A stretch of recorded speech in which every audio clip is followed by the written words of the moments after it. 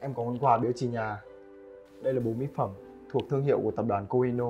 Quà to đấy nhờ Ai chà Sâm tôn nữ của Kohino à Cái này phụ nữ dùng rất là tốt đấy nhờ Cái gì đây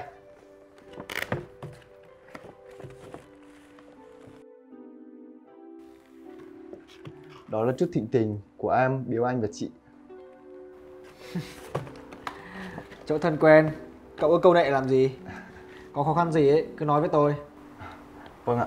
Chuyện là em có ba đứa cháu họ đang nhà vợ, vừa tốt nghiệp cấp 3 nhưng mà học kém, không vào được đại học. Em đang tính nhờ anh à, Cậu muốn nhờ tôi Xin cho ba thằng cháu cậu vào công ty làm đúng không Vâng ạ. Chuyện nhỏ cho con thỏ thôi Tôi chỉ cần cậu chú trọng những việc tôi giao là được Vâng, em cảm ơn anh ạ. Em sẽ cố gắng hết mình ạ. Chuyện là thế này. Ngày mai ấy Tôi sẽ về quê chủ tịch chơi. Xin cho ai vào ấy Thì xin vào luôn đợt này. Nhưng mà phải cẩn thận đấy. Chủ tịch tuy còn trẻ Nhưng rất cáo già. Đừng để sơ hở gì là được. Vâng, anh cứ yên tâm ạ.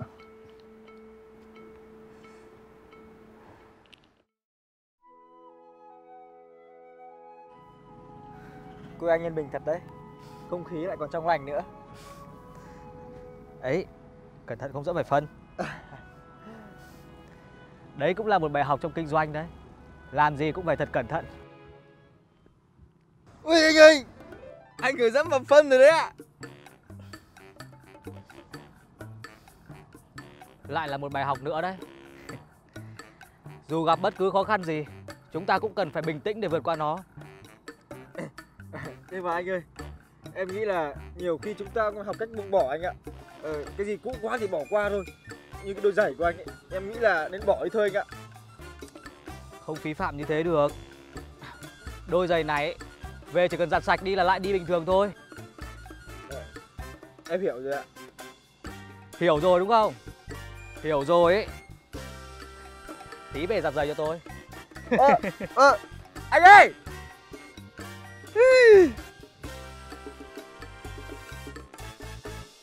Công việc sắp tới là như vậy anh ạ.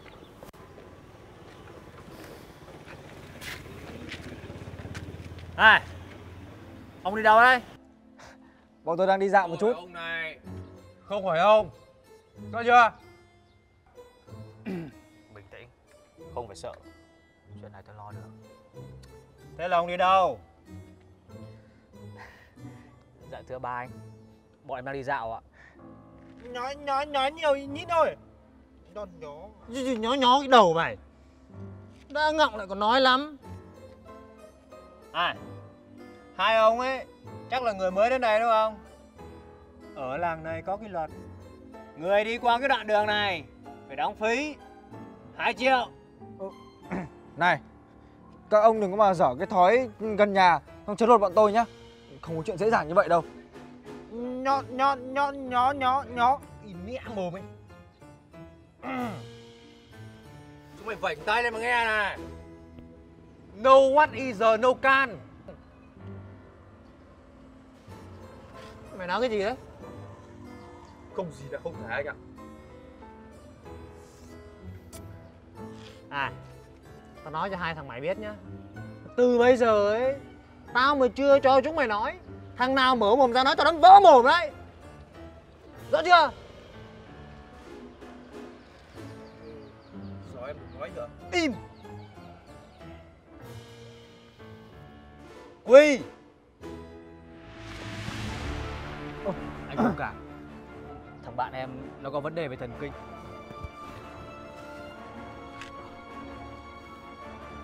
Đây, tiền của anh đây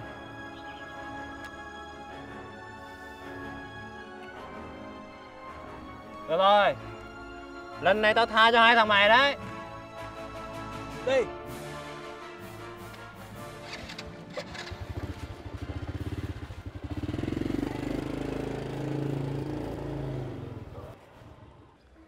Đúng là tuy mạnh yếu từng lúc khác nhau Nhưng trẻ trâu thì thời nào cũng có.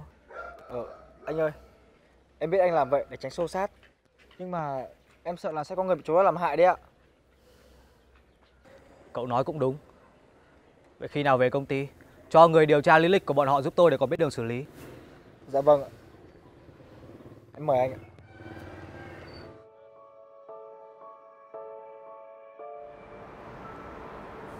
Thời tiết dạo này cứ làm người ta thấy khó chịu kiểu gì ấy cậu Hùng nhỉ? Dạ, vâng ạ. Mấy hôm nay tôi cứ thấy lo lo trong người Anh anh lo lắng điều gì vậy ạ? Vì cấp dưới của tôi là một thằng ngu Dạ. Mong anh chỉ bảo thêm cho em ạ. Ba cái thằng cháu của mày ấy Chặn đường chấn tiền tao với chủ tịch Hôm tao với ông ấy về quê đấy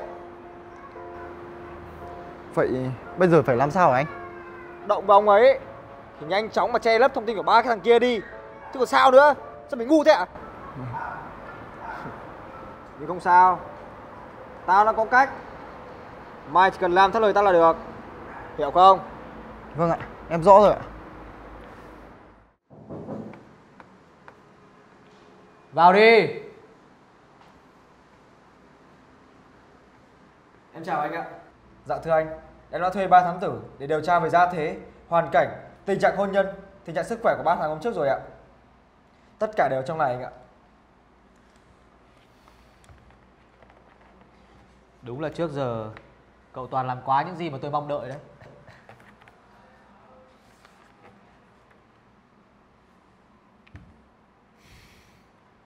Hơi nhiều chữ Cậu tóm tắt cho tôi đi.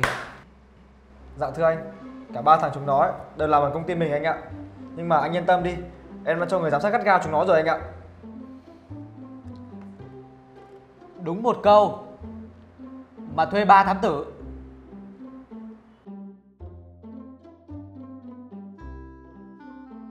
Cũng biết đi làm cơ à? Được rồi. Hôm nay tôi cũng muốn đi dạo một vòng Để xem anh em công nhân làm việc như thế nào. Tiện thể Cũng muốn biết ba thằng đó làm ăn ra sao. Vâng ạ. Vậy để em chuẩn bị quần áo bảo hộ rồi đi cùng anh luôn ạ. Thôi Cậu cứ để đấy tôi làm. Đi làm việc của mình đi. Dạ vâng em xin phép ạ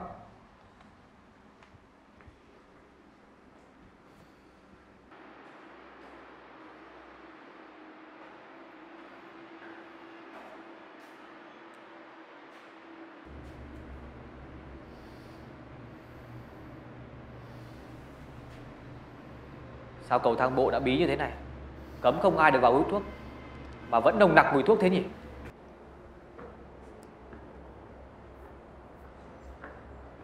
Ai cho các cậu hút thuốc ở trong đây thế này Tưởng ai? Hóa ra là người quen cũ.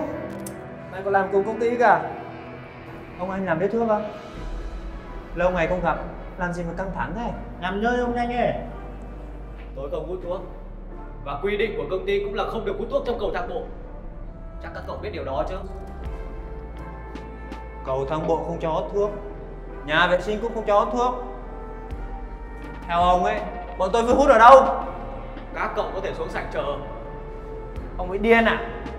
Hút có đỡ thuốc, cũng phải xuống tận sảnh cả. Đó là quy định của công ty Có tin tôi gọi bảo vệ lên gô cổ các cậu xuống không Nhỏi nhỏi ơi. Đây Dexter nha.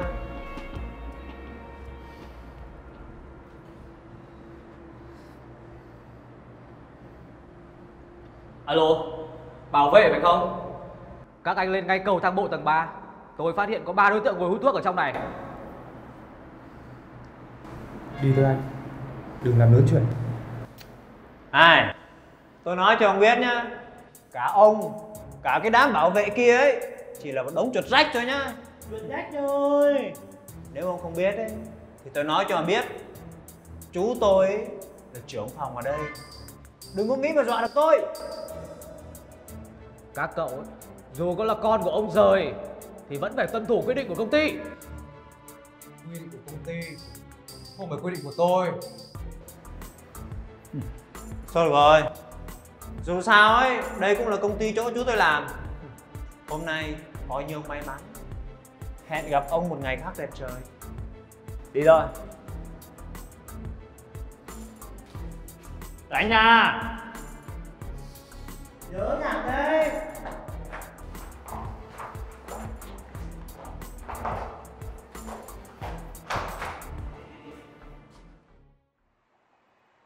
anh chồng của em ạ. Cậu làm ở công ty tôi cũng được 5 năm rồi đấy nhỉ dạ vâng ạ. Lương tháng ổn chứ? Dạ vâng. À, anh muốn sai bảo em việc gì ạ? Trưởng phòng nhân sự cũng tinh ý đấy. Trong công ty của mình có người quen của cậu đưa vào làm việc không? Dạ. Dạ. Có không? Dạ có ạ. Là ba đứa cháu của em ạ. Cháu ruột à? Dạ không ạ. Là cháu của vợ em ạ. Được rồi. Chúng nó đã chấn lột tiền của tôi và sỉ nhục tôi đấy. Tôi muốn cậu cân nhắc, Cân nhắc chuyện gì ạ? cân nhắc giữa tình cảm và công việc. Sống ở trên đời ấy ít khi được trọn vẹn lắm. Cậu hiểu ý tôi không? Em hiểu rồi ạ. Vậy bây giờ anh cần em làm gì ạ?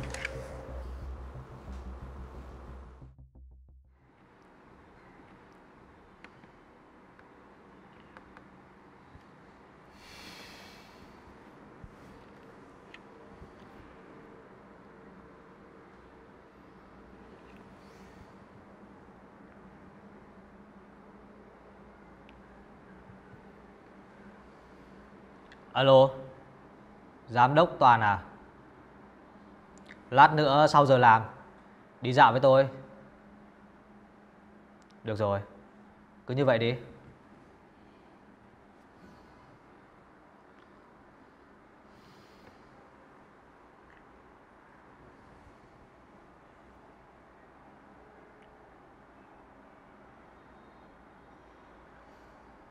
Cô làm xong sổ sách chưa? So sánh với những số liệu mà tôi đã gửi cho cô. Được rồi.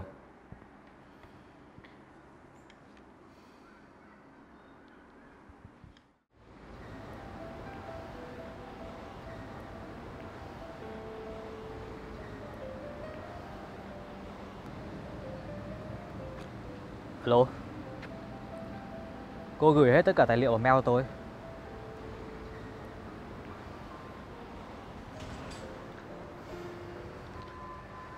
Mấy hôm nay Thời tiết đúng là khó chịu cậu Toàn nhỉ Dạ vâng ạ.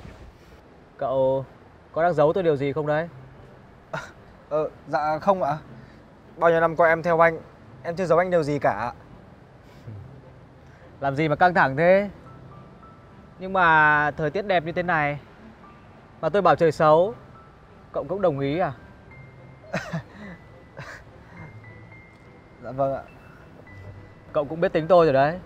Dạ em biết rồi ạ. Biết gì? Nói thử tôi nghe xem nào.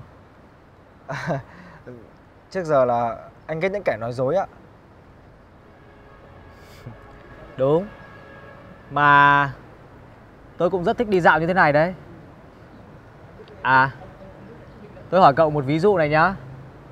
Ví dụ cậu phát hiện ra cấp dưới đang nói dối mình Thì cậu sẽ xử lý như thế nào Em chưa nghĩ đến chuyện đó ạ. Chưa nghĩ đến à Chưa nghĩ đến Hay là chưa muốn nói đến Đi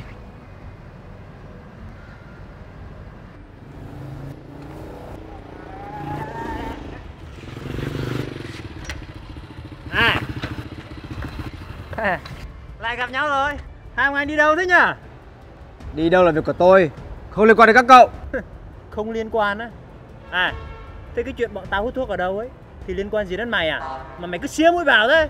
Này Các cậu đừng có tưởng ấy Chú các cậu là trưởng phòng nhân sự ở đây Mà thích làm gì thì làm Sống trong tập thể Thì phải biết tuân thủ quy định Còn các cậu phá luật Thì tôi phải nhắc Cái gì? Luật nào cơ? Luật cái đầu mày luật. À, à, à, à. Đi đâu đấy? Định trốn à? Chưa xong với bọn này đâu. Xong làm nháo nhược. Các cậu muốn cái gì Muốn cái gì á? Tao nói cho hai thằng mày biết này. Chú tao ấy sẽ đuổi việc hai thằng mày khỏi công ty này. À, chúng mày suy nghĩ cho kỹ. Nếu mà không muốn bị đuổi việc ấy, quỳ xuống xin tao đây. Tao sẽ suy nghĩ lại. Các cậu ấy Làm gì thì cũng nên dùng cái đầu để mà suy nghĩ đi Tao ấy, tao không việc gì phải nghĩ. Hai thằng nhãi mày, tao bóp một cái là chết cả hai đấy. Đừng có bảo hôn láo nhá. Tao nói cho chúng mày biết, đây là chủ tịch của công ty FM, còn tao là giám đốc công ty này đấy. Thằng chú của chúng mày còn bé lắm. Trời Chủ tịch giám đốc Mày nghĩ mày bảo là giám đốc. Thằng này làm chủ tịch Có tao tin đấy. Hôm nay chúng mày chết với tao rồi. À Tao bảo chúng mày quỳ ấy Là chúng mày phải quỳ Hiểu không Quỳ xuống Tôi không quỳ đấy Các cậu muốn làm cái gì thì làm Mày Dừng tay lại Chú Xin lỗi chủ tịch, em đến muộn. Tôi không sao Các cậu đã quay hết lại chưa Dạ, em đã quay lại hết rồi ạ. Sắp xếp người đưa bọn chúng lên công an cùng với bằng chứng của tôi Vâng ạ.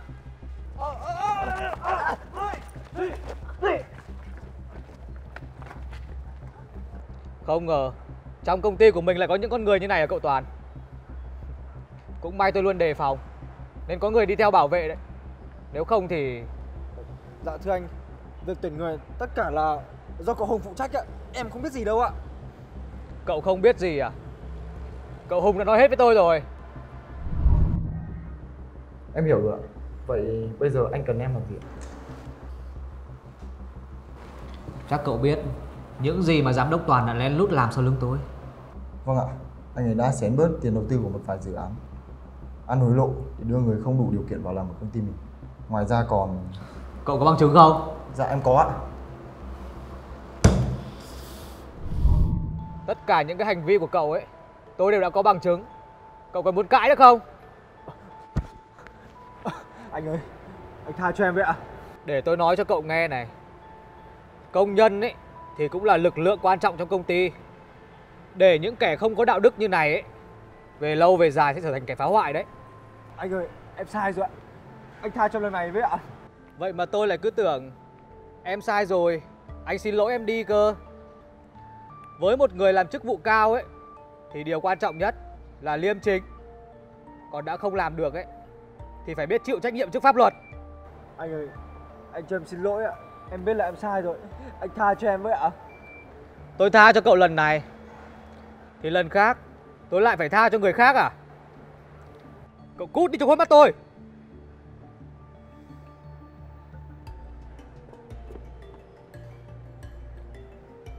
Cậu làm tốt lắm. Tuy là trong việc này Cậu cũng là người có lỗi Nhưng đã biết hối cải Nên tôi vẫn giữ chức vụ này cho cậu. Vâng, em cảm ơn anh ạ. Từ giờ em hứa, dù chỉ ăn cơm rau thôi, em sẽ không bao giờ làm những chuyện sai trái nữa.